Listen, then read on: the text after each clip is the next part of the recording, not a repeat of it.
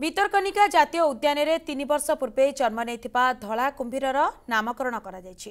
ଗୋରି ଆଉ ମଲ୍ଲି ପରେ ଭିତରକନିକା ଜାତୀୟ ଉଦ୍ୟାନରେ ତିନି ବର୍ଷ ପୂର୍ବେ ଜନ୍ମ ନେଇଥିବା ଧଳା କୁମ୍ଭୀରର ନାମକରଣ ହୋଇଛି।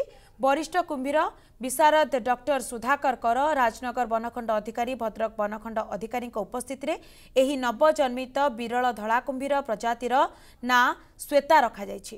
ଗୋରି ମଲ୍ଲି ପରେ ଭିତରକନିକା ଜାତୀୟ ଉଦ୍ୟାନରେ ଶୋଭା ବଢ଼ାଇବା। ଏହି ବିରଳ ପ୍ରଜାତିର ଧଳା କୁମ୍ଭୀର ଶ୍ୱେତା ବଉଳା କୁମ୍ଭୀରର ଏନ୍ତୁଡ଼ିଶାଳ ଭାବେ ପରିଚିତ ଭିତରକନିକାରେ ଧଳା କୁମ୍ଭୀର ଗୋରି ଏବଂ ମଲ୍ଲି ପାଇଁ ସମଗ୍ର ବିଶ୍ୱର ଦୃଷ୍ଟି ଆକର୍ଷଣ କରିଥାଏ। ଏହାକୁ ଦେଖିବା ପାଇଁ ଦେଶ ବିଦେଶରୁ ପର୍ଯ୍ୟଟକ ଏବଂ ଗବେଷକମାନଙ୍କର ଭିଡ଼ ଜମିଛି।